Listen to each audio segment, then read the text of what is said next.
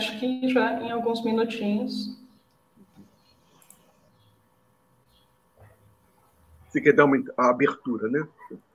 Uhum.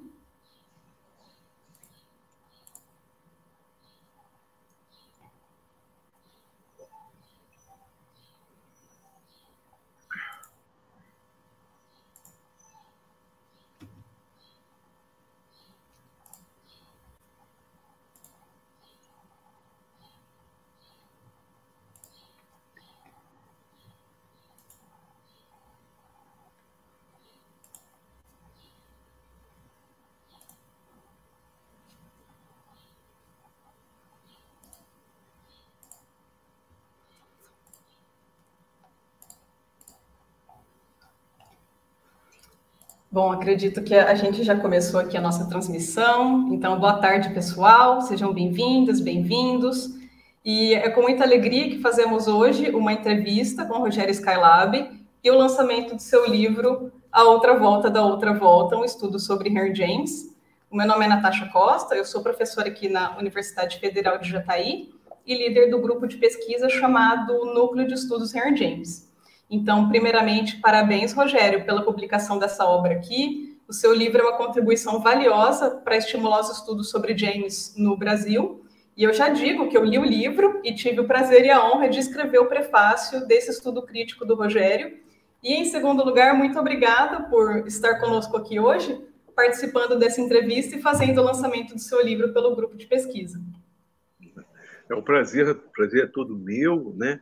É, eu me lembro que quando a gente pensou nisso, até foi nas vésperas mesmo, a gente estava pensando em como iria desenvolver essa live e a gente, é, eu, eu achei por bem, não é, a gente desenvolver essa live de uma forma bem informal, não é? É, é, ao contrário de algumas, até dentro do próprio estudos, o núcleo de estudos do Henry James, em que as pessoas realmente fazem uma, né, um, fala, faz uma apresentação, né? Então, a, a gente no mundo acadêmico está muito acostumado a esse, a esse formato, né? A esse Sim. formato de apresentação do trabalho, essas coisas todas. Eu, eu, eu achei por bem, Natasha, é, é, a gente desenvolver essa live assim, de uma forma bem informal, né? É, no sentido até mesmo de perguntas. Né? É, eu, a, deixar aberto né, para as pessoas perguntarem o que quiserem perguntar, e a partir daí a gente vai falando sobre esse livro. Perfeito, perfeito. Nós, nós uh, temos aqui alguns cumprimentos é, aqui no, no chat. Então, eu já disse para o pessoal e postando aqui as perguntas para o Rogério, que ele também vai responder as perguntas aqui do chat. Então, seria de extrema importância aí que, que nós tivéssemos essa interação com vocês, né, nessa entrevista e, e uma roda de conversa mesmo. E uma coisa muito curiosa que eu, eu havia comentado com com o Rogério é que ele estudou Direito e Letras, e ele é graduado em Filosofia pelo FRJ, então existe uma similaridade biográfica aí com o Herr James, porque ambos escolheram... Ambos, ambos eh, se enveredaram pelo direito, mas escolheram atuar em outras esferas profissionais, né, nas artísticas. É. É curioso isso. Ah, é curioso porque eu sempre dou exemplos é, de, de outros escritores, não do Henry James, curiosamente não do Henry James, mas de. Porque eu tenho, talvez você não saiba, e os ouvintes talvez não saibam, eu tenho uma relação muito forte com a, com a biblioteca. A biblioteca, para mim, tem um sentido muito importante. Tá? É porque a biblioteca, o espaço da biblioteca, que é quase um espaço sagrado, de silêncio, você não pode conversar na biblioteca, né? te leva, é, te propicia né, uma concentração. Não é isso? Uma concentração. Você imagina, eu estou falando isso, o, o Natasha, porque eu estou vivendo atualmente, né, nesses últimos dois anos, um, uma crise terrível. A crise terrível vem justamente da Covid. Porque o que, que fez a Covid? Qual foi a consequência? Ah, Para mim, a Covid teve consequências terríveis. Não no sentido físico, não no sentido físico, no sentido imaginário, né? Porque antes da Covid, eu tinha uma vida disciplinar muito importante, né? Uma vida que eu cultivei durante anos, né? Que é justamente de frequentar a biblioteca. Né? Por isso que os, os, escritores que mais eu me remeto a esse tipo de experiência não é o Henry James, é mais o Borges e o Bataille, porque ambos eram bibliotecários. Né? Então eu tenho uma relação muito forte, seminal, com a biblioteca. Né? E isso até o momento da Covid. Porque é, é, eu diria até que esse livro, é, esse livro que eu escrevi, A Outra Volta da Outra Volta, né, que é um estudo sobre o Henry James, ele só foi possível por causa dessa minha vida disciplinar. Você está me entendendo?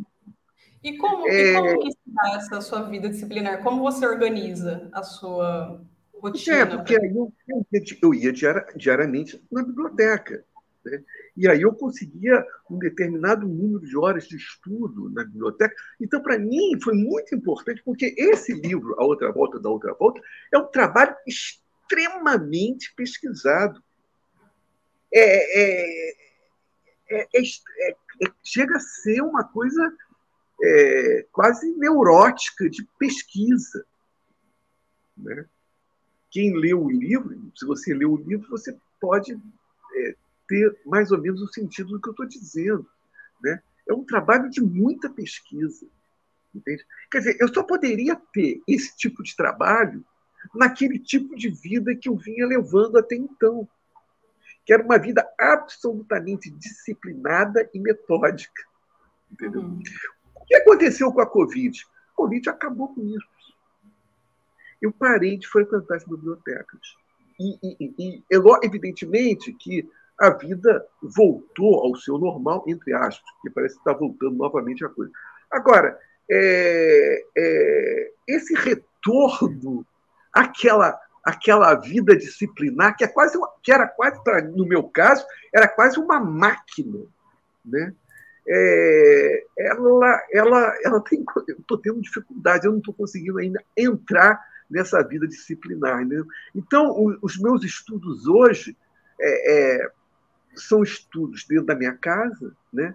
E, e, dentro da minha casa nunca será igual à biblioteca, porque você sofre um mundo de interferências, né? É ligação, é celular, é isso, é aquilo, é conversa, aqui, entendeu? Então nunca é, né?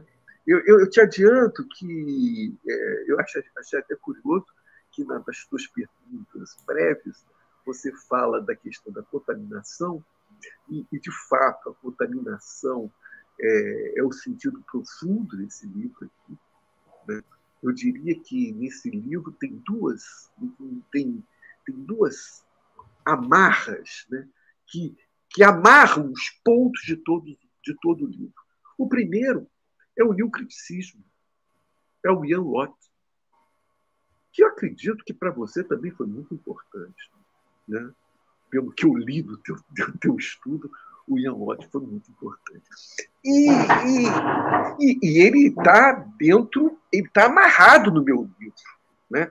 Eu, não, eu apenas não eu não apenas me refiro ao seu estudo clássico né, do, do, é, do primeiro parágrafo dos embaixadores, né, que inclusive está transcrito no livro que foi traduzido para o português, tradução do Marcelo Penha. É, é, esse texto do Ian Watt é um texto para mim que foi muito importante. Foi, ele foi definitivo, né? porque o meu próprio, a minha própria análise, a minha própria interpretação de texto da outra volta do parafuso está muito baseada nesse texto clássico do Ian Watt. Uhum. Então, isso é uma coisa forte. E o outro, o outro ponto que você muito bem destacou nas suas perguntas prévias é a questão da contaminação. Né? Que é, me parece, é, que é o máximo de potência da sincronia. Quando você fala da, da sincronicidade, né? que uhum. eu, eu, gosto de diferenciar a diacronia da sincronia. Né? É, eu acho que o momento, o máximo de potência da sincronicidade é justamente o momento da contaminação, o processo da contaminação. E, e, e, e, foi esse. Eu termino o livro falando da questão da contaminação, e, e, e, não é à toa que a continuação dos meus estudos após o Henry James é justamente Jorge Bataille. E é porque Jorge Bataille é, justamente, para mim, tá, é o fundamento desse pensamento da contaminação. Uhum. Eu achei muito interessante no seu estudo, Rogério, que você mobiliza, especialmente, é, assim, vi com, com bastante atenção, as áreas da filosofia e da crítica literária, né? Então, você retoma estudos contemporâneos, mas também os estudos clássicos anteriores, né, da, da fortuna crítica, né, daquilo que a gente chama de fortuna crítica de Henry James. E, e, e, eu achei assim, muito interessante esses dois conceitos, de fato, na, na, no, seu, no seu estudo, né? O da sincronicidade e da contaminação. E aí, o, o, da, o conceito de contaminação, você disse que poderia ser até o subtítulo do seu estudo, né? Tamanha relevância que ele tem na, na sua pesquisa. E aí, eu me lembro que você define nesses termos o conceito de contaminação, que é trazer à tona o que se mantinha devidamente recalcado, né? Então, fala um pouquinho mais uh, sobre isso para a gente, né? É, como, como que isso se dá é, em Here James? Por que, que você achou esse conceito interessante para abordá-lo? É. É, é, curioso, né? Porque, porque quando eu falei com você, e você chegou até me convidar no primeiro encontro né, do Núcleo de Estudos, e eu não quis aceitar, porque naquele momento eu tinha já o livro 98% dele escrito, mas me faltava uma outra parte, que é a conclusão, que eu não escrevi conclusão, eu escrevi introdução, né? em que eu procuro amarrar as pontas de, desse trabalho. Não é? É, e aí, nessa introdução, eu, eu, eu, justamente falo desse aspecto. Né? É muito curioso, porque é, a questão da sincronia, né? a, a questão da sincronia está presente em você também, né, no seu trabalho, o duplo ponto de vista, né? o duplo ponto de vista, uhum. é, curso, né? e, e da, da estilística, né? né, que remete a, a, toda uma questão da linguística. Né? Então, é, é, de, uma, de alguma forma, ele também vai expressar esse duplo ponto de vista, expressa de alguma forma essa sincronicidade, né? Essa uhum. sincronia. Eu me lembro também. Que... Ah, desculpa. Pode falar, pode falar. Eu me lembro também que, que você comenta com relação à sincronicidade, você, você analisa como que existem várias consciências é, em, em, jogo na novela, né? Como que a consciência das personagens se torna sincrônica com a consciência dos leitores. E, então, isso, isso também é muito interessante, porque examina um aspecto da narrativa, né? É, e como que esse aspecto da narrativa é sincrônico, como que essas várias perspectivas acontecem simultaneamente na novela. Isso também achei muito, muito interessante, essa análise. É, e, e você veja, né? Porque, na verdade, ô Natasha, é, você deve saber muito bem, porque o teu estudo é, me deu consciência da fortuna crítica do Henry James. Isso aí é uma coisa assim, né? Porque é, nós aqui no Brasil, né? A, a, a, gente não tem muita ideia disso, né? E, e, e se você pensar bem, é, a fortuna crítica do James aqui no Brasil, produzido pelos brasileiros, é muito, é muito pequena, é quase nada, né? comparada com. Né?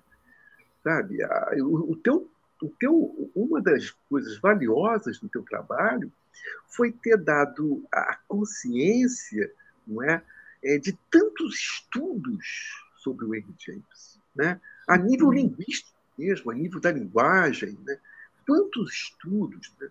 Eu queria me lembrar de um oriental, eu não vou conseguir me lembrar o nome dele, é um, um Nova York, é provavelmente um americano de Nova York, mas ele é, deve ser de origem oriental, que ele falou, ele fez um estudo sobre um, um, um, um tipo de verbo que era usado muito no Henry James. Né? Será que, será que é o Watanabe? Ele fez. Se for esse escritor que eu estou pensando, Watanabe é o sobrenome dele. Ele estudou o, presente, o passado perfeito em James. Exato. Será que é, é isso? É isso mesmo. O passado perfeito.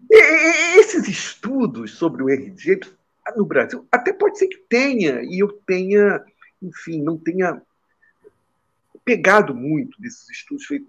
Mas, assim, o que mais me chamou a atenção dentro do limite de tempo né, que, eu, que eu tive para fazer o trabalho, foi praticamente o teu, o teu, o teu trabalho, o trabalho do Marcelo Pen, que é um trabalho clássico, maravilhoso, né, no uhum. campo do possível, que inclusive fiquei muito feliz de ele estar presente no primeiro encontro, né, achei maravilhoso isso, e o trabalho da Luísa Laranjeira, né? Sim. Né, que também é um trabalho muito interessante. Né? E na introdução, quer dizer, então a gente vive esse problema, né? A gente vive esse problema é, é, é, é que é do nacional, do, do, em relação ao James. E, e, e, na verdade, as traduções também, se você visualizar a obra monumental do James, né, a tradução pouquíssimas traduções, não tem muita tradução, né? Não tem muita tradução. O, o, cara que eu conheço, meu amigo, e que eu valorizo muito, é o Paulo Henrique Brito, que é um tradutor espetacular do, do, do Henrique James. Né? Mas, Sim. assim, é, em termos de tradução, cara, a gente não tem muito. Por exemplo, é inadmissível a gente não ter a tradução dos últimos da viagem do James a Nova York nos últimos, ah, nos, últimos nos últimos anos. É uma espécie de, de que não é um romance, né? mas é aquela narrativa dele em Nova York, no final, né? já no século XX, é, eu acho de uma importância muito grande, como que nós não temos uma tradução daquele texto. Né? É, isso daí, é, e a, a Luísa Laranjeira traz é, bem forte essa, esse texto, né? esse texto que nós, infelizmente, não temos a tradução. Então, nós no Brasil temos, sofremos muito, mas eu, eu acho que eu consegui trazer é, pelo menos três estudos contemporâneos sobre o Henry James, que estão no meu livro, e que eu, de fato, não, não, eu não apenas, eu não apenas é, é, anuncio, estudo, eu, eu, eu, eu realmente me debruço sobre esses estudos. É isso que eu quero dizer. É, tem alguns trabalhos, os teus, por exemplo, é, há uma é, as referências são borbulhantes ali, né? que às vezes não dá nem para você entrar muito no estudo. Você cita como referência, então é uma, uma, né, é borbulhante aquilo ali. É, uhum. é, eu, eu, eu, eu, eu, não, eu, não, eu não quis entrar nesse caminho, entendeu? Até porque para o campo de pesquisa também seria assim, impossível, seria. Mas eu uhum. queria é, é, escolher né? a, a, questão da escolha, né? que para o Henry uhum. James é muito importante. Né? É, acho maravilhoso aquele trabalho do Marcelo Pen, quando ele fala da revista dos dois mundos, né? e daquela perspectiva clássica da revista, é, em contraposição ao realismo naturalista, né? natural, não, o realismo naturalista, Sim. né? Que é de é o livro querer... do Marcelo, o, o Realidade Possível. É, exato. É que, quer dizer, ao invés de um natural realismo, que é esgotar todas as possibilidades. É impossível, você não, você não tem como você esgotar todas as possibilidades do real, isso é impossível. Né? Então, o processo da escolha é fundamental. Né? O processo Exato. da escolha é fundamental. E o que vai criar a verossimilhança, porque a verossimilhança é muito importante no trabalho do James, é, e aí é que o Marcelo, acho uma coisa fantástica que escreveu, é todo um trabalho é, dentro, dentro do texto né, que possa é, produzir é, essa verossimilhança, né? Mas é quase um trabalho de um trabalho mágico ali, né?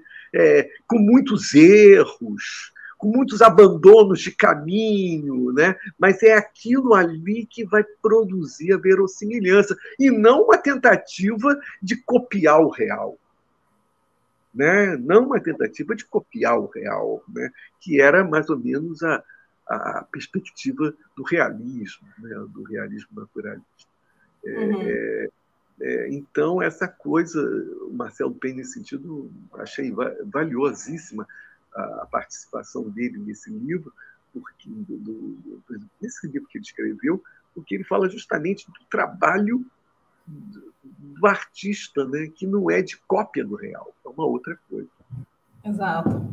Sim. E Rogério, nesse, nesse seu estudo, né, nesses 16 capítulos que você coloca aqui, né, nós temos uh, análises sobre as obras de James no geral, né, você não se atém somente à novela, né, você também comenta outras obras do James, e ao mesmo tempo você traz uma análise específica da novela. Então, eu acho que você fez aqui um, um trabalho de rica pesquisa crítica, né, é, mobilizando essas áreas da filosofia e da crítica literária, que, é, que por isso, então, é um livro que tem, tem muitos benefícios, assim, tanto para quem é um leitor geral e quanto uh, para os leitores específicos, né, para os leitor, leitores especializados em James. Então, eu, eu acredito que esse seja um dos maiores uh, trunfos, assim, do, do seu estudo crítico, porque ele atende tanto os leitores uh, de uma forma geral quanto os especializados, né? E o estudo que o Rogério faz uh, dessa obra aqui, né, é uma novela, A Outra Volta do Parafuso, nessa edição aqui a tradução do Paulo Henriques Brito, né, que o Rogério havia comentado anteriormente. E você havia comentado também sobre as traduções, e tem uma pesquisa da professora Diana Fortier, é, na tese de doutorado dela, ela analisa exatamente a, as traduções e propõe uma tradução também de, de A Outra Volta do Parafuso. E em 2015, ela estimou, ela fez um levantamento de 10 traduções dessa novela, né? Então, a novela seria esse texto narrativo um pouco maior que o conto e menor que um romance, né? Então, sobre as traduções, a professora Diana comenta isso, né, nesse levantamento que ela faz na tese dela, de, de haver 10, 10 traduções. Né? Então, assim, é, é, é, é, um número expressivo, né? Quando a gente olha é, para as traduções. É, é, é, é, muito expressivo, Natasha, mas em referência a essa obra, que provavelmente é a mais popular dele. É Sim, mais, a mais popular dele. Agora, se a gente vê a, a obra completa dele, né, é, naquela edição de Nova York, né, de 1910, né, é, a gente vai ver que, poxa, a porcentagem de, daquilo ali que foi traduzido para o português é uma porcentagem muito pequena, cara. Muito é ínfimo, né? É uma, uma, quantidade ínfima. Exato. Nossa, essa a tradução do The American Scene seria Seria, assim, excelente, né? Se nós tivéssemos esse, esse relato agora, traduzido. Agora, agora Natasha, é, é, uma coisa que eu acho, você, como professora, né, intelectual, deve saber muito bem isso que eu estou falando. É, é, a minha preocupação sempre foi de, de, de, clareza do texto, entendeu? Ainda que eu ache que, ainda que eu ache que essa clareza sempre será perigosa. Né? É, eu falo isso mesmo é, em termos de academia mesmo, né? É, é, é. quando você às vezes quer facilitar o texto para o público, né? É, para poder se comunicar, não é? Às vezes a gente cai num, num perigo que a gente chama, que, que se chamou muito de literatura pop, né? que é justamente da facilidade. Né? Porque essa facilidade para gerar comunicação, né? ela pode, às vezes, transfigurar o texto. Né? Então, a, a, a, o grande, a grande questão no, nossa, né, eu acho que deve ser a grande questão do intelectual, é como deixar o texto claro sem vulgarizá-lo. Entendeu como é que é? Uhum. Eu acho que às vezes a gente cai, atualmente, a gente cai um pouco nesse, nessa armadilha da vulgarização. Uhum. Né? Mas isso, isso é um perigo. Isso é um perigo. Agora, eu acho que a clareza a gente tem que ter. Né? Eu acho que um professor, por exemplo, né? eu, eu tinha um professor aqui aqui no, no, Rio, que eu tive muitas aulas com ele, e é muito famoso, você provavelmente deve conhecer, Roberto Machado, o professor Roberto Machado, que era um estudioso do Deleuze, Foucault, Nietzsche, essas coisas. E uma das características do estudo dele é que os livros eram claros. Entendeu? Tem que haver clareza. Então, acho que essa é uma linha que a gente tem que demarcar com muita Existe a clareza no texto e depois existe a vulgarização. O perigo é a vulgarização. Uhum. E, Rogério, é, a, a, outra volta do parafuso, ela foi recentemente transformada numa minissérie, né? não sei se você chegou a ver aquela A Maldição da Mansão Bly. O, o diretor, mas, Mike Flanagan. Mas, mas qual foi o diretor? Mike Flanagan. Ele, ele fez uma adaptação da, da novela Outra Volta do Parafuso para essa minissérie, A Maldição da Mansão Bly, que foi lançada no, na Netflix em 2020. E, e, aí ele insere ali não somente a Outra Volta do Parafuso, mas dialoga com outros textos também do, do Henry James, outros contos. E eu ia te perguntar se você assistiu. Não, eu vou te confessar que, que esse foi outro problema da, da Covid. Foi outro problema da Covid. Eu, eu vim de uma época de frequentar muito sala de cinema. Eu era um exímio frequentador de sala de cinema. E com a Covid, isso interrompeu. Agora, nunca fui muito televisivo, entendeu? Se você querer discutir séries comigo, tá ferrada, porque eu não vou. Eu não sou muito de ver séries. Eu não sou uma pessoa muito televisiva entende? É, eu acho que agora até vou me tornar mais, né? porque eu, eu vou ser obrigado a isso. Né? Mas eu era uma pessoa de frequentar sala de cinema, entendeu? Então, essa série, por exemplo, eu estou muito interessado em ver. Agora, eu acredito que, é, fora da série, existiu um filme Sim. sobre o, a outra volta do parafuso. Sim, Acho também que um, tem adaptações um... cinematográficas. Eu acho que foi um filme clássico. Eu não sei exatamente o nome do filme, entendeu? E não vi, não vi, mas eu, eu sei que tem um filme sobre a outra volta do Paraguai. Sim, uh, algum, algumas professoras, membros do, do núcleo de estudo, é, analisaram essas adaptações e existem algumas, né, algumas adaptações baseadas em A Outra Volta do Parafuso, né? Então, nós temos também alguns trabalhos uh, sobre, sobre essas, essas adaptações. E, Rogério, uma, uma das, uma das uh, perguntas, das primeiras perguntas que, que me veio à cabeça é, era assim, o que, que o que, que, você achou mais instigante, assim, quando você leu a primeira vez, né? A outra volta do parafuso. O que, que te arrebatou, assim, que você pensou, nossa, eu preciso desenvolver um estudo para contar o que, eu, o que eu interpretei, o que eu achei desse texto? Então, é, é, como, como, foi essa leitura do. É, é, é, engraçado, porque justamente por ser o livro mais popular do Henry James, né, o livro mais popular do Henry James, eu li esse livro há muitos anos atrás, sem nem pensar em fazer trabalho nenhum. Entendeu? Eu li, né, normalmente. E, e, tinha toda aquela questão do gótico, do fantástico, né? É, é isso é o que me chamou muito a atenção. Né?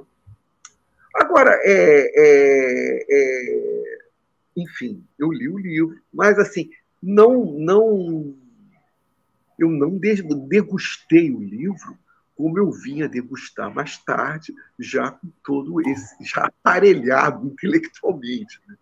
Mas, assim, é, é muito interessante isso, porque o, o, o caso do James ele, ele para mim, era um autor clássico, né? autor clássico e, e ficava por aí. Mas o que me chamava muita atenção foi alguns grandes escritores que eu tinha em alta conta citando sempre o James. Isso é que me pegou. E o primeiro é o Borges. O Borges vai citar sempre o James. Entendeu? O Borges vai citar sempre o James. E eu cito isso na introdução do meu trabalho, que foi num curso, num grupo de estudo, com um escritor, filósofo brasileiro, que eu acho, que hoje ele vive em Portugal, é, o Carlos Henrique Escobar, né? que ele era um estudioso é, do Nietzsche, do Deleuze e tal. E, e, e ali, nesse grupo de estudo, é, no, é, o livro era Mil Platôs. Né? Eu me deparei com uma análise é, importantíssima do Deleuze, do Guattari, sobre o Henry James. Ali, eu achava, é curioso, o Natasha, que Henry James é muito próximo a nível vocabulário de Henry Miller, né? Sei lá, Henry Miller, Henry James, né? E, e eu achava, assim, que o Henry Miller, Trópico de Capricórnio, essas coisas, tivesse mais relação com a filosofia contemporânea. Você está me entendendo? Quando eu vejo aquele livro, Mil Platôs, o Deleuze falando né, maravilhas, analisando né, a novela, né, a novela que é A Gaiola, né, A Gaiola, que é um texto maravilhoso, né, é, que é de uma telégrafo. O telégrafo, o telégrafo do Henry James é de uma importância muito grande, né? O Marcelo Sim. Penha, é, Marcelo Penha que vai resgatar isso. É, mas essa novela fala de uma mulher que trabalha num, ela é telégrafa.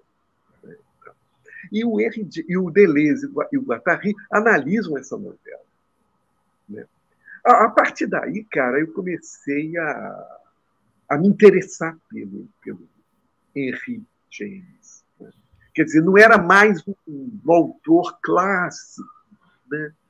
E passou a ter uma importância muito maior do que o Henry Miller, que era para todo, toda uma questão do, do sexo, da filosofia contemporânea, da liberdade, essas coisas. É, esse clássico começou a me chamar a atenção porque grandes pensadores mencionavam ele. E foi aí que eu comecei. O primeiro livro depois, do, depois do, da volta do parafuso, que eu li, e aí eu já li, já aparelhado intelectualmente, foi, foi Os Embaixadores.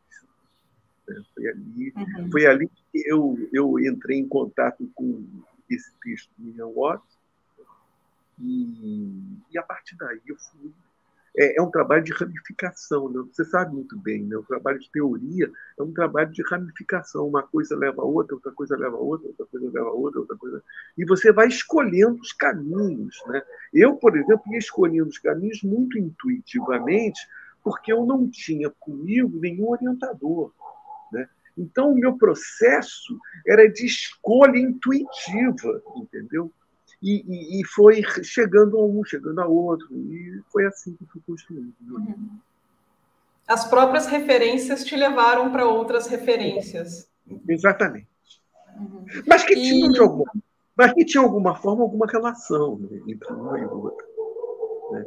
Entre uma, uhum. né? E, Rogério, você, você comenta também, é, você, você, nas nossas conversas anteriores, você, você havia comentado sobre o método fragmentário de escrita. Eu, eu achei isso tão interessante, assim, é, porque é, é uma renovação, né? Eu acredito que esse, esse método uh, que, que você coloca em prática é, é um método de renovação, né? De, de, você se pautar por essa ideia do fragmentário. Então, você poderia contar para gente como foi também, se você ah, não vou escolher esse método para atingir certos efeitos, como, como que se deu esse método de escrita? Não, o, método fragmentário, bom, a primeira vez que eu entrei em contato com ele, é, teoricamente falando, foi através do romantismo alemão, né? em que eles valorizavam o fragmento. Né? Tem até tem aquela, aquele preceito do romantismo alemão muito interessante que é o todo e as partes. E dentro da parte você poder estar, o todo está dentro da própria parte, entendeu? E essa ideia de fragmento está muito no romantismo alemão.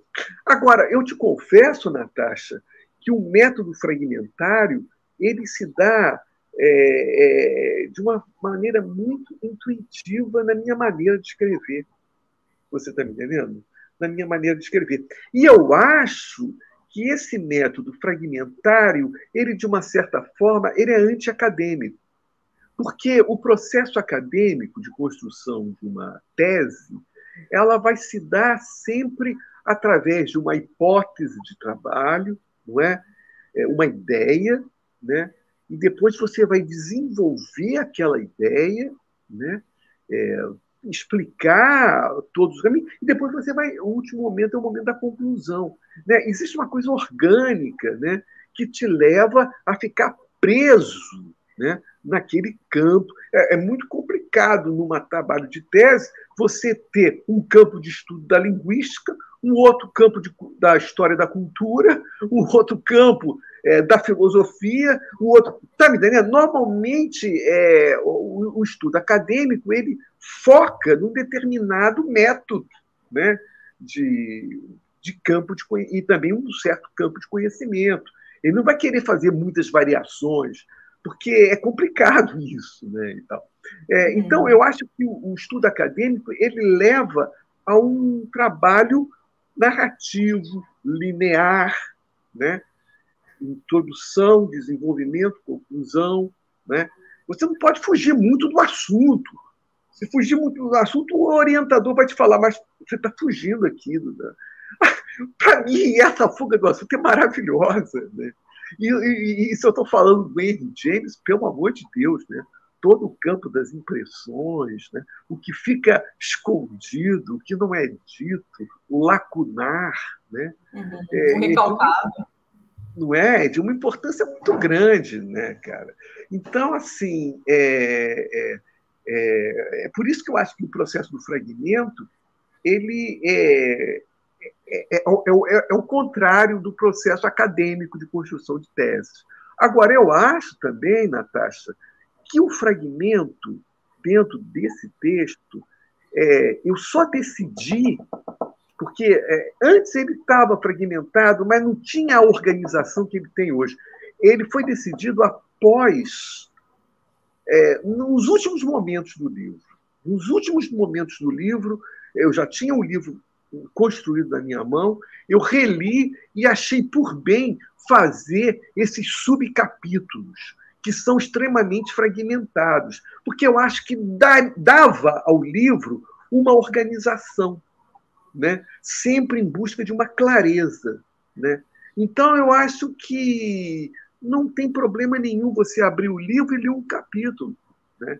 E depois você pular e ler um outro capítulo na frente, entendeu? Eu acho que não, eu não vejo problema. Eu acho que o processo fragmentário é justamente esse, não é?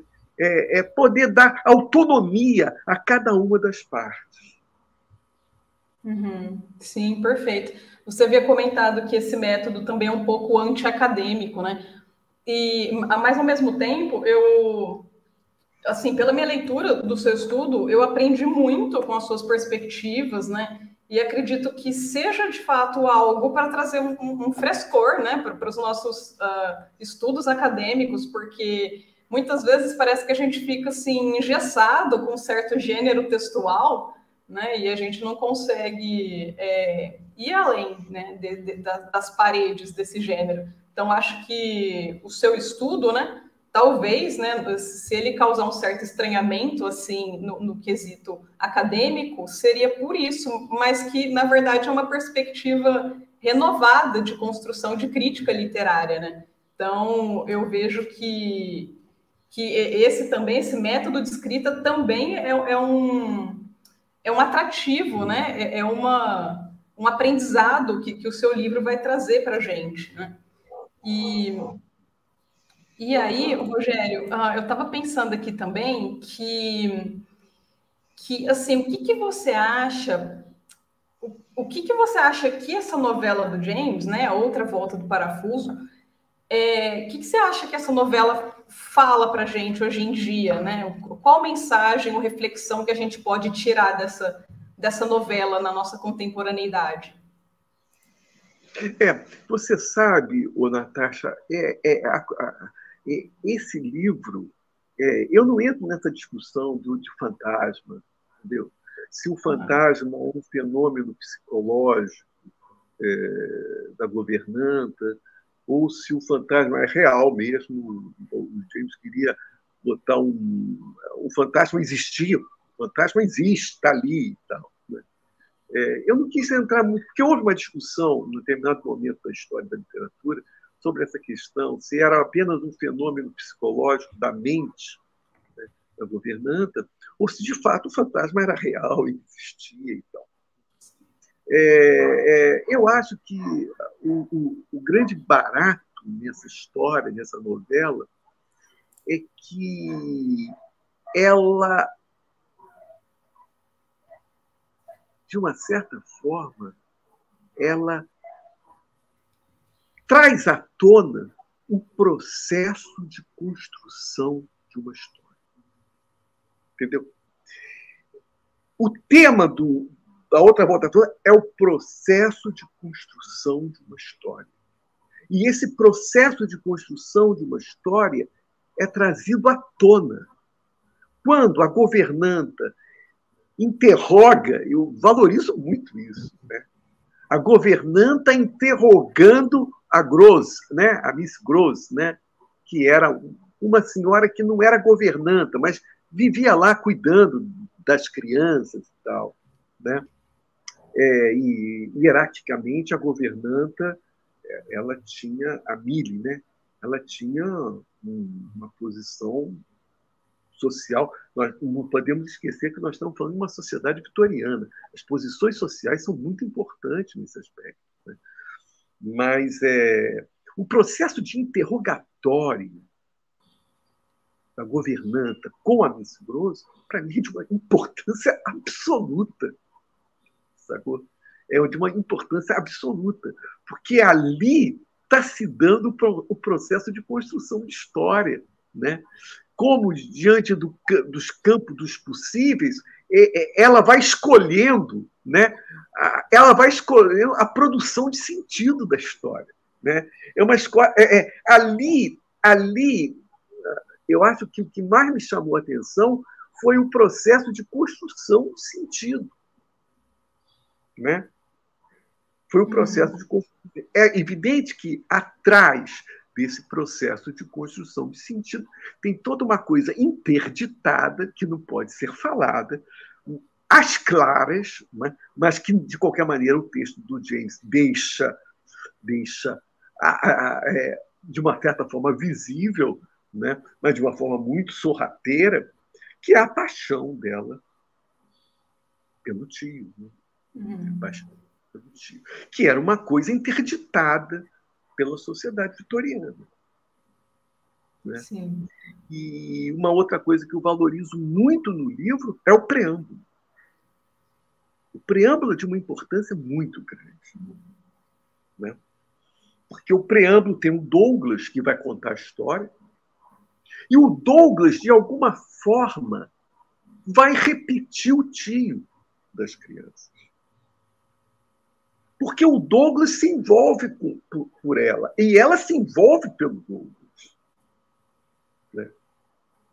Uhum. Só que é uma história, mas essa relação tem que ser interditada pela sociedade vitoriana.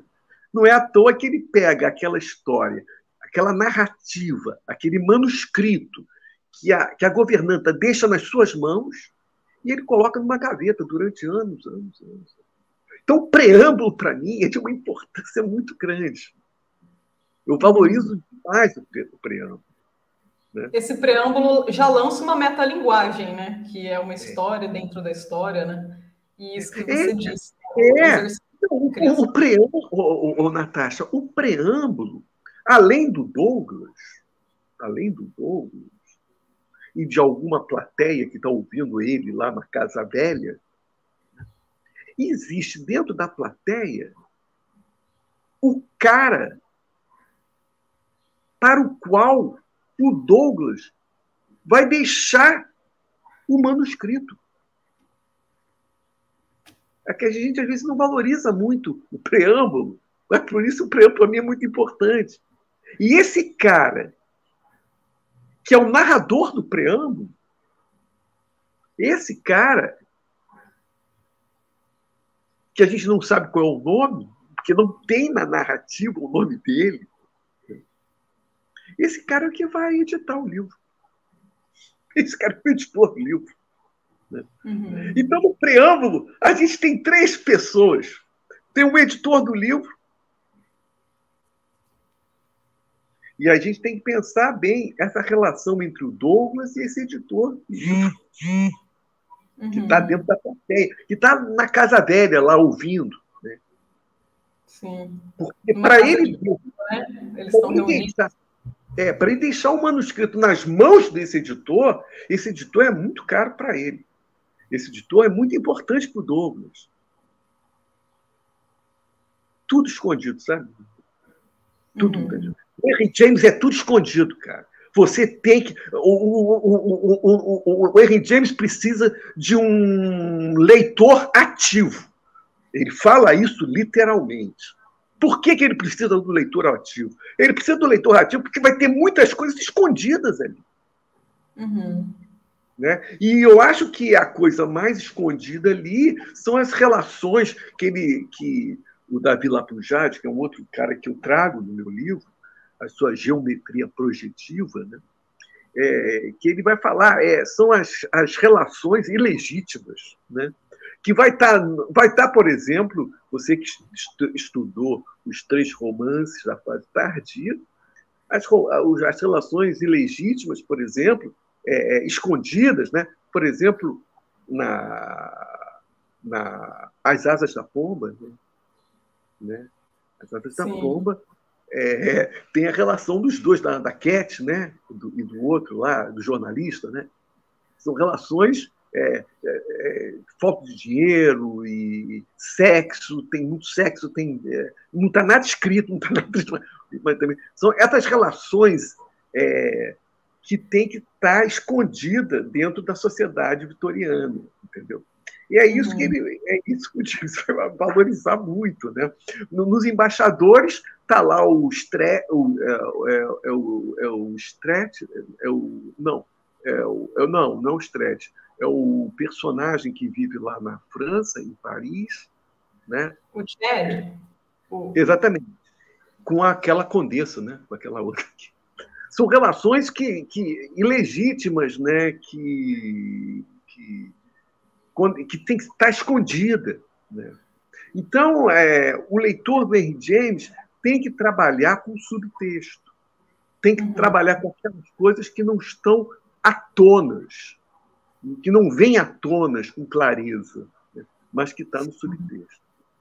E com relação a isso, eu me lembrei é, em um dos, dos, dos, trechos finais aqui da novela que permanecem lá na, na em Bly, só, só a governanta e o Miles. E aí, em determinado momento, ele diz para ela que ficaram então só os dois na casa e os outros. Então, quem são esses outros, né? Então, é exatamente isso que você disse, né? O, o leitor gemesiano, ele tem que estar ativo, né? Para poder fazer as conexões e entender essas camadas de sentido, né? Que são construídas no texto. E então, é engraçado, porque Os Outros é o título de um filme, né? Que também é baseado na, na, na outra volta do parafuso, né? Aquele filme Os Outros. Então, quem? a quem, quem, quem que ele está dizendo os outros? Serão os outros os empregados da mansão, que também estão lá, ou os outros os fantasmas, né? Então, a gente sempre tem que estar tá ativo nessa leitura. É, é, é. Não, e, e, e evidentemente, é, se nós estamos falando do campo do possível, isso Marcelo Pen explora muito isso. A Sim. gente tem que pensar na questão da ambiguidade. A ambiguidade é fundamental, né? A ambiguidade é fundamental. É, é, eu, eu, eu, inclusive, é, nesse. Porque aí, é por isso que eu digo que no final do livro eu retorno ao Ian Watt, porque eu vou analisar o primeiro parágrafo do preâmbulo e o primeiro parágrafo da narrativa propriamente dita da governanta. Né? É, então, eu, de uma certa forma, eu fecho esse ciclo é, do, do, do, parágrafo, do primeiro parágrafo, porque é, e o que o Ian Ott vai, vai sublinhar é que ali, no primeiro parágrafo, estão todos os sons né, que a orquestra vai desenvolver mais tarde. Né? Todos Sim. os sons estão ali que a orquestra vai desenvolver mais tarde. É por isso que a gente está falando de, de sincronicidade, né? o uhum. sincron, né? Tá tudo ali, né? E, e é curioso porque é, nesse nesse primeiro parágrafo ele divide o Ian divide em três momentos, né? Um primeiro momento que parece que há uma ironia em que o narrador está distante do personagem. Né? Depois, um segundo momento, quer dizer, o que o narrador pensa, o personagem pensa diferente, então há uma ironia, é uma questão da ironia, há um distanciamento. Depois, no, no segundo momento desse, desse primeiro parágrafo, é, a gente percebe que o narrador não está tão distante do personagem. Né? É, existe até um, um, efeito cômico né? É, que, o, que o Ian Watt vai, vai explorar. Né? E no último momento, a gente percebe que a nota europeia, né, que chama nota europeia, né, uhum. que é aquele americano que está lá na Europa, né, eu me esqueci o nome dele, é, uau, eu não sei, é um americano que está lá, que é, é, é, a nota europeia já está presente desde o, desde o primeiro parágrafo. Né? Ele apenas é, protelou né? para, no, no, no, no último momento desse primeiro parágrafo, ele falar dessa nota europeia. Quer dizer, a nota europeia está presente desde o início. Né? Não foi uma questão é, do tempo transcorrendo e ele ir mudando de. Não, não, ele está presente desde o início. Né? É essa questão do sincrônico, né? É, ele está presente desde o início. E aí, cara, eu vou na história da, da cultura, da literatura, da filosofia, para falar dessa questão. Né? Eu, eu, eu, vou, eu vou destacar também um autor português, eu gosto muito, Abel Barros Batista, que ele escreveu um livro maravilhoso chamado Autobiografias, falando da questão da história do livro. Né? Então, ele fala isso, quer dizer, é, é, não é que houve uma mudança com o tempo, houve uma ruptura de uma época. A gente pensa muito, é, a, a diacronia lembra, trabalha muito com essa questão da ruptura de uma época, uma, né? aí trabalha com oposições. Não, está presente, está contaminado, tá, o elemento está presente desde o início. Né? E ele vai vir à tona mais tarde. Tá e aí o Deleuze mesmo, quando estuda Proust, né, e eu trago do meu livro também, é isso também. Quando ele estuda Proust, é, é, ele vai falar do, do, dos diversos mundos, né? O, o, mundano, o sensorial, até chegar no sentido. Né? Mas não é que foi com o passar do tempo que, que chegou-se ao. A... Não, não. Ele estava presente desde o início, a questão do sentido. Só que é, ele não tinha descoberto. Né? Então, ele, ele precisa do tempo para descobrir a questão do sentido. Né? Mas não é, que, não é que foi construído com a passagem do tempo, não. Ele tá, o sentido estava presente. Ele que não. Né? A questão do aprendizado. Ele, ele que aprendeu e viu que o sentido estava desde o início interferir. Então, essa questão da sincronicidade, do sincrônico, é muito interessante. Né? É, é, é o contrário da ruptura do tempo, de uma, de uma outra época. Não, não, está presente desde o início. E aí, cara, você vai fazer interligações com a filosofia, com a literatura e com a função de outras coisas. Uhum. Eu acho muito interessante esse conceito de sincronicidade que você traz aqui no seu estudo, né? E, e, você eh, retoma, né, todos esses pensadores, né, como você já comentou, Blanchot, Lapujard, Deleuze, Guattari, e inclusive o título, o título do seu estudo, né, a outra volta da outra volta, já tem uma própria sincronicidade no, no próprio título, né? E aí você você definiu lá no seu estudo a, essa sincronicidade como como, como isso, né? Uma, uma, série polifônica de acordes que contém todos os desenvolvimentos melódicos posteriores. E aí, Rogério, às vezes eu fico percebendo, né? Seria uma interpretação pessoal, como que a sincronicidade em alguns textos narrativos do James parecem uma própria incorporação na estrutura narrativa do telégrafo. Como que, para retomar o que a gente havia comentado antes, né? Então, assim, como que a, as, as tecnologias de informação que, que estavam surgindo e se aprimorando aí no fim do século XIX, início do século XX, como que James também incorpora essas, essas tecnologias na própria estrutura narrativa, né? Então, tem alguns textos dele que parecem é, mensagens telegráficas, né? Como, como se, se elas fossem recebidas simultaneamente, né? Como, como se elas pudessem ser aprendidas na simultaneidade, né? Então, acho que tem tudo a ver com esse comentário que você havia feito do telégrafo antes também. É, maravilhoso, maravilhoso isso que você falou. É isso mesmo, muito legal. E o campo das impressões, né? As impressões, né? Porque uhum. as impressões não é objetiva, né? Também tem isso, né? Ao mesmo Sim. tempo que ela tem questão da sincronicidade, que você está falando do telégrafo, não é? É, é, o próprio forma, o próprio, a própria forma do telegrama, né? ela, ela, ela não é muito objetiva, né? Por mais que é, o texto, você requer um trabalho de interpretação do texto, porque ele é muito lacônico, né? Sim.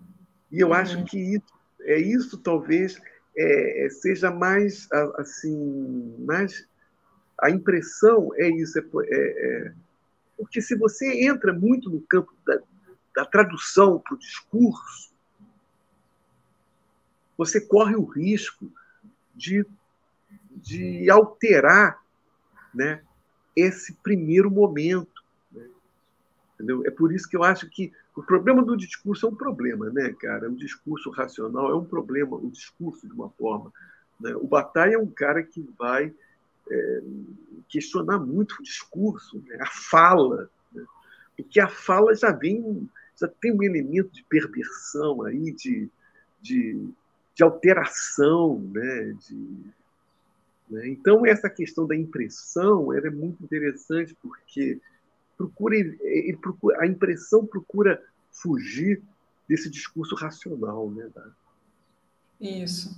É, é, é esse, esse, esse estilo, né, essa característica literária do James está muito mais afeita às nuances, né? as nuances é, da realidade e não uma interpretação unívoca, unilateral dela, né? Então, isso combina também com o que você analisa no seu livro, né, sobre essas, essas diversas consciências né, que, que confluem na narrativa, né, que, que isso rompe essa linearidade. Né? Nós temos uh, impressões de uma realidade né, e, e, tornando ela mais, mais múltipla. Né? Então, o James se recusa a, a, a transmitir uma ideia unívoca, linear. Né? Então, isso você também traz no, no seu estudo. É, e daí a diferença dessa narrativa para a narrativa realista.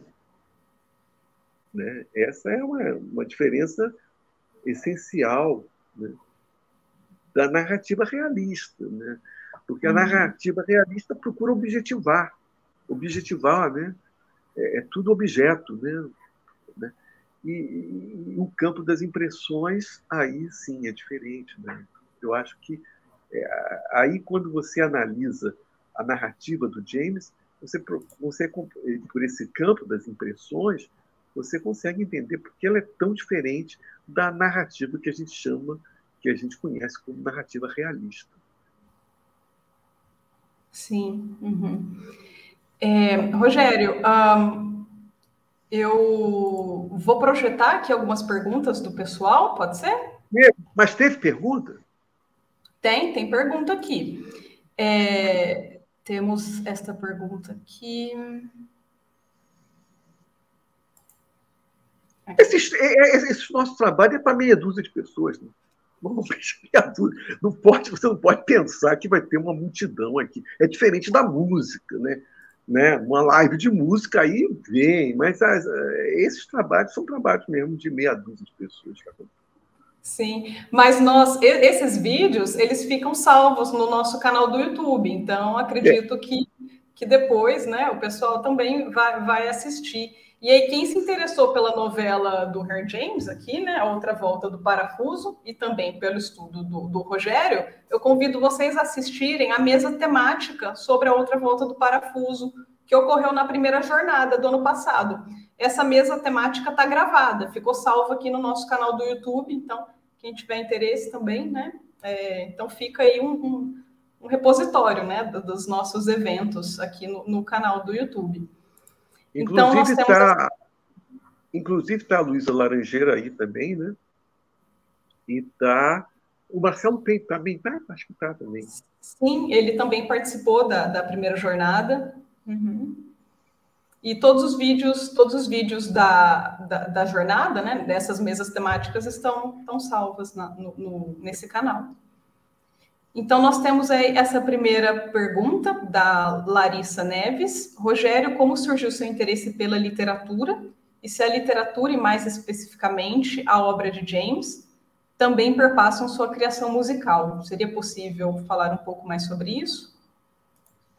Como ocorre esse é, é, é, é, Você sabe, a questão da relação entre a, a literatura e as minhas pesquisas teóricas e o campo da música é uma relação de reverberação. Uma coisa reverbera na outra.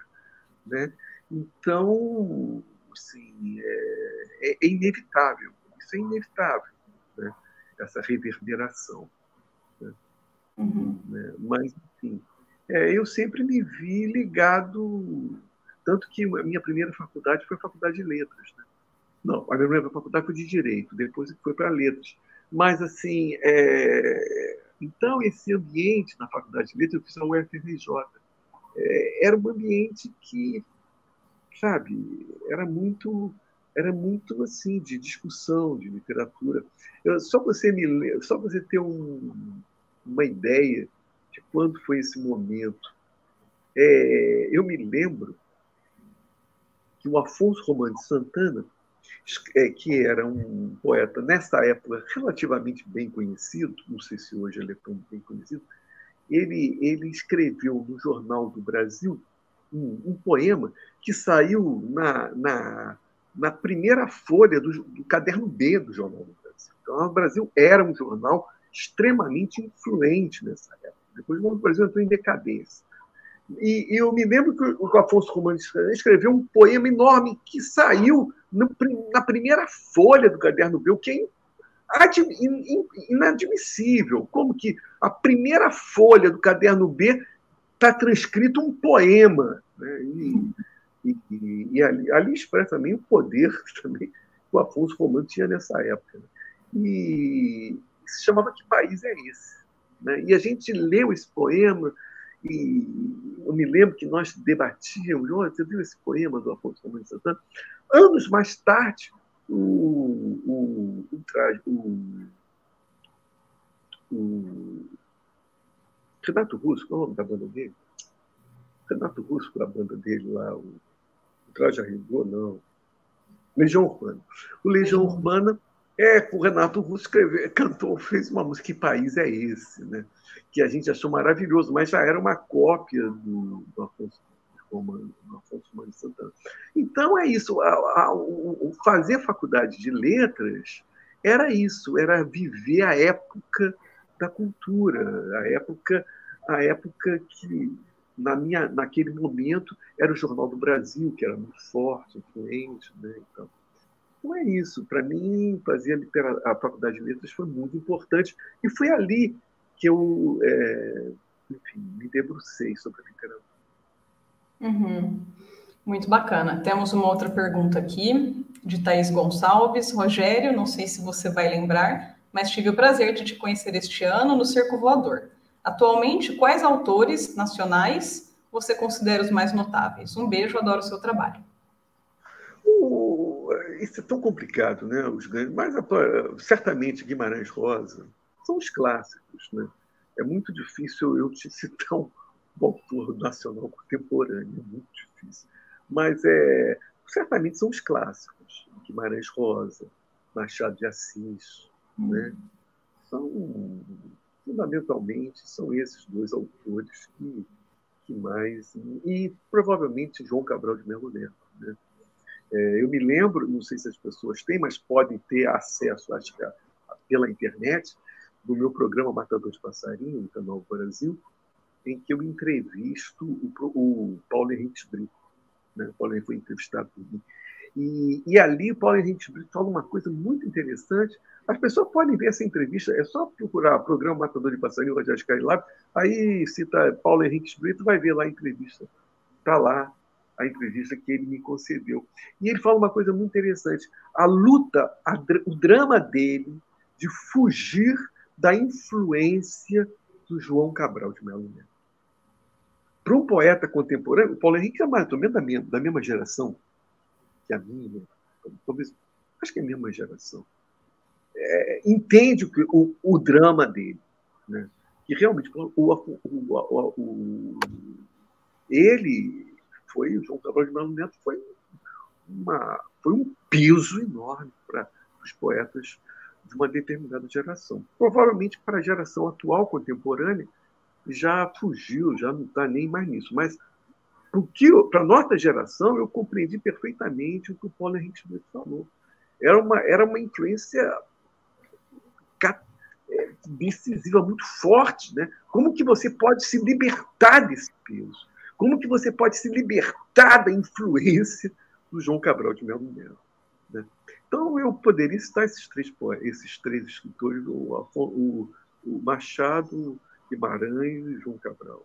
João Cabral. Uhum. Certo. Temos mais uma pergunta aqui de Gustavo Pimentel. Uma pergunta meio banal, mas você saberia dizer qual foi o caminho de autores que te levou até o James? Acho que você já. Eu acho, eu acho que eu citei, eu acho que eu citei. E se você ler o livro, você vai entender. Porque todos aqueles autores que eu cito, Abel que eu estudo, Abel Barros Batista, é, Blanchot, Davi Lapujade, todos esses autores, eles estudaram muito James. Eles estudaram, eles têm todos, não são autores que são desconectados do James. Todos os autores que eu trouxe ali no meu livro, eles estudaram profundamente o Henry James. Então é através desses escritores que eu cheguei no Henry James. Mas eu diria principalmente Borges e, e Deleuze. Uhum. Eles amam o Henry James. Uhum. Maravilha. Temos aqui uma pergunta. É o início da pergunta de Wilson Cosmo. Boa tarde, Rogério. Gostaria de saber o que o senhor acha sobre o processo de adaptação de obras clássicas da literatura para formatos mais consumidos, como filmes e série. Esse processo pode trazer essas obras para a citada armadilha de vulgarização aos olhos do público que não conhece a obra original? Um grande abraço. Perfeito, perfeito. Concordo em gênero, número. É muito complicado você adaptar uma, uma obra literária. É muito complicado. Pô, esquece a obra literária, vai fazer um filme de ficção, porra. Tudo bem que você pode ser influenciado por aquela obra literária, mas faça as suas perversões. Não queira seguir modelo. Por que tem que seguir modelo? Então, eu, assim, a princípio, a priori, eu tenho um pouco de reticências em relação à adaptação de obra literária. Entendeu? Provavelmente, a adaptação de obra literária vai ser. É muito difícil você encontrar uma adaptação de obra literária que seja superior ao original. Pode acontecer, não vou dizer que é impossível, pode acontecer. Mas eu acho muito difícil. Entendeu? Então, eu, eu, esse negócio de adaptação, cara, você pode assim ter é, inspirado, ser inspirado em determinada obra, mas faça as tuas perversões siga os teus caminhos, saca? Esse negócio de adaptação, para mim, é complicado. E a questão da armadilha que ele fala aí, muito bem colocado, eu acho isso mesmo. Uhum. O Rogério, recentemente nós uh, discutimos no grupo de pesquisa o, o um, um, filme do François Truffaut que se chama La Chambre Verte né, o quarto verde. E, e esse, e, e esse, esse, filme, do Truffaut... Esse filme. Do Júlio Verne. É do Júlio Verne. É do Júlio Verne. O, o quê? Não, não entendi. O... Esse, esse filme do Raio Verde é adaptado... Não, é a Chambre Verte, eu acho que é o quarto verde. Ah, bom, então é. tá. Então, então não é, não é isso. Eu viajei numa outra coisa. Vai, e, esse, e esse é La Chambre Verte, que é o quarto verde, né, do, do Truffaut. E ele, ele adaptou ali principalmente um conto que é o Altar dos Mortos, do, do Harry James. Então, essa foi, foi uma, uma discussão recente no grupo, né? Porque nós, nós, nós lemos o, o conto, né? The Altar of the Dead, e assistimos esse filme do Truffaut. E você comentou sobre perversões, e, e, é curioso isso, né? Também, como cada artista, né, é, em sua área, né, em sua própria esfera, eles uh, divergem, né? Divergem e escolhem criar sentidos diferentes, né, para aquela, para aquela realidade.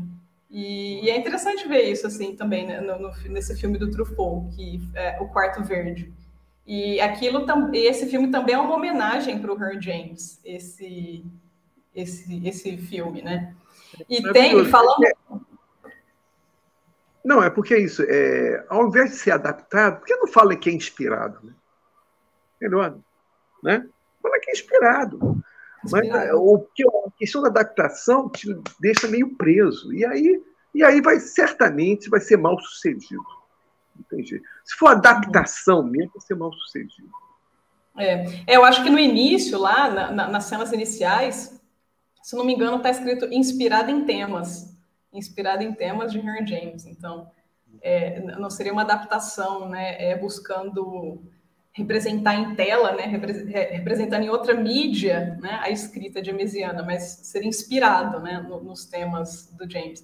E tem, tem também um, um artigo, um artigo longo, assim, 36 páginas, eu estou vendo ele aqui. E, e, é muito interessante esse artigo, chama A Harry James Filmography, é da Sarah Koch. E, e nesse, nesse artigo, ela, ela, ela lista, ela atualiza periodicamente esse, esse, esse texto, né, esse artigo dela, listando lá, e, e eu vi aqui que as, as referências para outra volta do parafuso são páginas e páginas, né? Tem os inocentes, os outros. Então, eu não, não assisti todos, né? Não assisti todos, mas ela ela traz lá, né? É, o que, que o que, que existe, né? Até o momento dessas adaptações ou inspirações no, no James, né? E nós temos aqui uma outra pergunta É... Bruno Almeida. O Rogério já respondeu essa. Skylab, o senhor chegou a ver a adaptação da Netflix, A Maldição da Mansão Bly? Se sim, o que achou dela em termos de caracterização de espaços em relação ao livro? Um abraço, sou seu fã. É, eu vou ver, eu faço, eu faço questão de ver, mas não vi ainda. E temos aqui a Maria Alves havia pedido para mostrar o livro novamente. É, então é esse, Maria. O link está aí, tá? Para você adquirir. Seria este livro aqui, A Outra Volta da Outra Volta, um estudo sobre Henry James. Né? O link eu já postei aí no chat para aquisição. Temos, temos uma outra pergunta aqui. Lucas Ventura pergunta: Rogério, fiquei curioso quando você falou da relação profunda com a biblioteca, com os estudos pesquisa. Como se dá o seu método dentro e fora dela?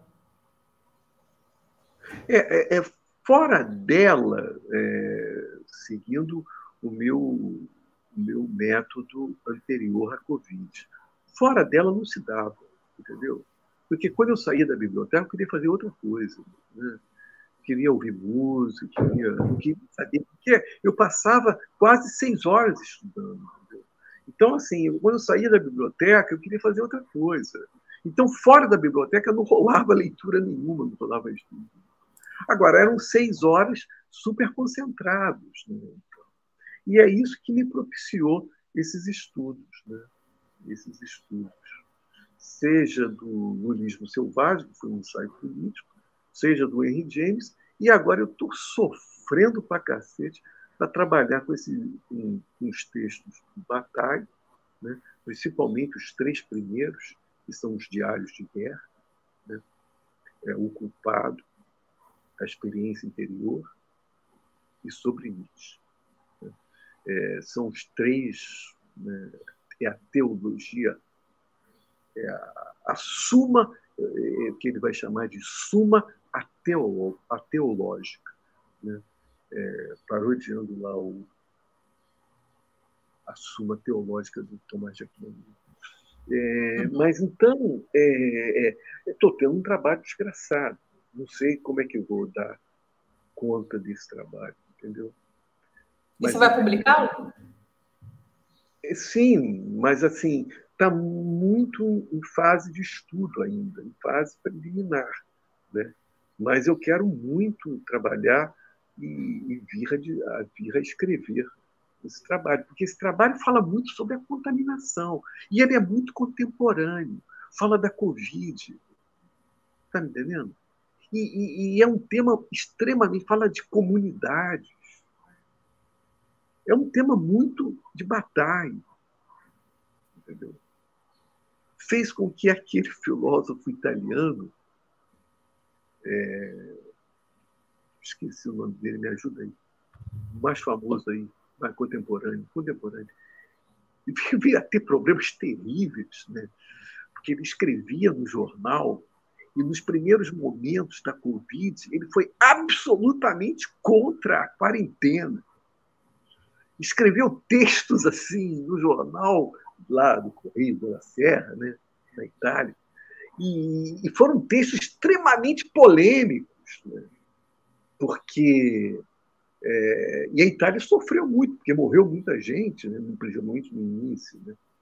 E ele foi contra todo o processo de quarentena. De... Lembra um pouco. É, mas é, a discussão é no outro patamar, né? não é no patamar do Bolsonaro, evidentemente. Né? Mas, é, mas foi textos extremamente polêmicos. Aquele que escreveu o Homo Sacer, esqueci o nome dele, filósofo italiano importantíssimo e que gosta muito do Bataille. Então, eu vou trabalhar muito em cima dessas coisas, entendeu? Em cima desses, dessas coisas. É, de livros que, que eu tenho lido também. Né? O Bataille, ele, além de um filósofo importante, ele era também, como toda a boa tradição francesa, ele escrevia literatura. Né? Ele escrevia romances e tal com a boa literatura francesa, bem Sartre, Camus. Bem... Então, eu estou trabalhando. Agora, eu não sei, cara. Eu não sei o resultado final disso. É muito... É tudo muito improvável. Né? A minha relação... E, e, e, e, curiosamente, tem uma relação profunda com o Bataille. Porque o Bataille vive justamente essa... Improba... É tudo muito improvável. Né? É tudo muito improvável. É o contrário daquele secretário que vai para a mesa disciplinar e vai estudar o seu trabalho, vai fazer o seu trabalho quase disciplinadamente, como eu fiz boa parte da minha vida. E esse livro do Henry James é muito produto dessa época. Mas nesse e, momento. E, e você já retomou, Rogério, essa, essa relação com a biblioteca, essa visita não, constante? Não. não, mas justamente. Não, a relação com a biblioteca não, não vou ter biblioteca. Né? O que eu estou tentando fazer é uma adaptação de estudo dentro da minha casa. Com todas as dificuldades que estão implícitas, implícitas a esse processo de estudar em casa. Né? Mas, enfim, é diferente de estudar na biblioteca. Né? Então, eu estou vivendo atualmente esse drama. Mas eu estou na, eu tô na luta. Né? É, os livros do Bataille são livros dificílimos, não são fáceis. Uhum. Mas eu acho que ele continua o meu estudo do Henry James. Porque eu terminei o meu estudo do Henry James na contaminação, que é o máximo de potência da sincronicidade. Porque é a experiência propriamente dita. A Luísa Laranjeira vai ter uma certa crítica em relação a isso. Ela vai falar de um nome chamado enclave aristocrático. O enclave aristocrático é justamente isso. É, é você poder. É, é, é, o que o Henry James viveu em Nova York. É ele viver a experiência de Nova York, porque ele não deixa de ser um nova-iorquino, mas ele não é mais nova-iorquino, ele vive em Londres. Então ele tem um certo distanciamento. É esse enclave aristotélico, aristocrático, né? no distanciamento. Então ele vive a experiência, mas ele vive um distanciamento crítico. Esse é um enclave aristocrático. Né? É, é, mas, assim, eu acho que quando o Bataille sublinha o processo da contaminação, ele não está mais defendendo esse distanciamento crítico. Ele está ele tá, ele tá tentando sublinhar a pura experiência. A experiência dos contatos, das contaminações, da comunicação. Não é, não, porque quando você cria um enclave aristocrático, você está preservando um espaço subjetivo. Você está preservando o eu. Você está preservando uma certa identidade.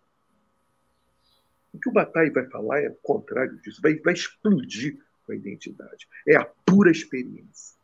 Então, a contaminação, para mim, é o grau máximo de potência do sincronismo, do, do que a gente chama de sincronia.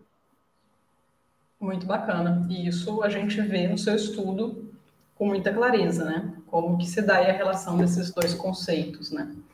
E nós temos aqui, Rogério, uma última pergunta. É, Beta Rodolfo pergunta: Rogério já pensou em publicar algum romance ou até mesmo uma coletânea dos contos do Godard City? Valorizo muito debaixo das rodas de um automóvel e adoraria ler. É. O romance eu tenho imensas dificuldades. Talvez por esse meu processo fragmentário. Né? Talvez pelo meu processo fragmentário eu tenho imensas dificuldades. Ainda que eu poderia fazer um romance experimental, tipo Serafim Ponte Grande, né? essas coisas, que é um romance bem experimental, né? do, do, do Oswald. Né? É, é, mas, assim, é, quando a gente pensa na ideia de romance, não é? é fica, complicado, fica complicado quando você trabalha muito o processo fragmentário, da fragmentação. É muito, é muito complicado. É, já os contos, sim, é mais tranquilo. Eu tenho alguns contos. Eu penso em vir a publicar alguns contos. Eu tenho contos. E, e penso a vir a publicar um dia. Esses contos que eu escrevi. Mas romance não. Romance tem imensas dificuldades por causa desse meu processo fragmentário. Uhum. É, o Debaixo das Rodas de um Automóvel, né, o seu livro poético que foi lançado em 2006, né? E você pensa é. em retomar a escrita de poemas? Sim, não, sim, sim, eu, eu penso, eu, eu, tenho, eu tenho o, a poesia, sabe, Naranja, ela sempre teve presente na minha vida de um modo geral. Eu nunca abandonei, entendeu? Em alguns momentos eu, fiquei, eu ficava um pouco mais distante, né? Mas a poesia é uma grande questão para mim, sabe? É, eu escrevi esse livro, foi editado pela Rocco nos anos 90. E agora, em 2020, foi nos anos 90 ou foi você falou 2006, não foi? 2006. 2006. É, ele foi lançado em, 2000, em 2006 pela editora Rocco. É, e, e agora, na Covid 2020, a Corte Editorial relançou o livro. Né? Então, é... agora, a poesia, eu tenho uma nova, eu pretendo lançar, eu tenho e pretendo lançar em breve novos poemas. Entendeu? A poesia sempre teve presente na minha vida. Uhum, maravilha. Estaremos aguardando suas próximas publicações, seja poesia, seja contos, romances, crítica literária, mas estaremos de olho aí. É, essas foram as perguntas aqui uh, postadas no, no YouTube. Teria mais algum aspecto, Rogério, do seu, do seu estudo crítico que você gostaria de abordar? É, é, uma, é uma pesquisa esgotante, né? Não, é, é, é enfim, eu, eu, eu adaptei, é, adotei essa forma fragmentária, não só pela minha própria forma de escrever, quanto também pelo sentido de clarear. Né? Aí eu faço subcapítulos, numeros capítulos, entendeu? Então eu, eu acho que dessa forma eu deixo mais claro os textos. A cada subcapítulo eu dou um título. E esse título ele tem, esse, ele tem muita relação com aquele pequeno fragmento que eu escrevi. Então, ele é um texto todo fragmentado, mas que eu acho que é, é, vai ser importante para deixar o texto claro, entendeu? E você pode ler um, um subcapítulo aqui, é, depois ler um outro subcapítulo lá na frente. Eu acho que eu, eu procuro buscar autonomia entre eles. Uhum. Sim, acredito que esse, esse método é, é, algo assim renovador, né? É algo que areja, né, um pouco essa essa área, né, às vezes engessada dos estudos literários. Então, é, é uma, um método muito interessante. E mas então quero, quero, mas quero também antes, antes de terminar agradecer, porque é, agradecer muito a você. Eu, eu, eu gosto sempre de relembrar que quando eu li pela primeira vez o teu texto, o teu texto, ele é borbulhante de referências. Eu, eu, eu, procuro, eu procuro estudar o teu texto é, apenas na, na, na o espaço, a relação espaço-temporal. Mas, mas você vai em outros capítulos do livro, do teu trabalho, falar do espaço só, né? ou do tempo fora. Eu procuro fazer só aquela parte espaço-temporal. Né? E, e para mim foi muito importante, eu fiquei muito impressionado. Foi ali que eu entrei em contato com você pela primeira vez e, e você foi muito solícita. E a partir dali você depois voltou para me anunciar o primeiro encontro, me convidar e eu não me sentia à vontade para me apresentar nesse encontro, porque o livro tinha acabado de ser feito e ainda faltava eu eu completar ele, né? E, enfim, acho que agora eu publicado, eu teria o maior prazer de fazer parte do próximo encontro e fico muito feliz de você ter escrito o prefácio do livro, né? Eu acho que esse livro deve-se também a muitas pessoas, inclusive a você. Uhum. Muito obrigada, eu que agradeço. Foi uma honra, né? E um, um, um, prazer escrever este, este prefácio aqui. E então já está combinadíssima a sua presença na nossa segunda jornada, né? No ano que vem. E a gente vai conversando, né? Sobre os, os, os próximos combinados, né? Em que mês que a gente vai fazer a jornada. Então, assim que a gente estiver pensando nisso, eu entro em contato com você para você participar da, dessa, desse segundo evento nosso.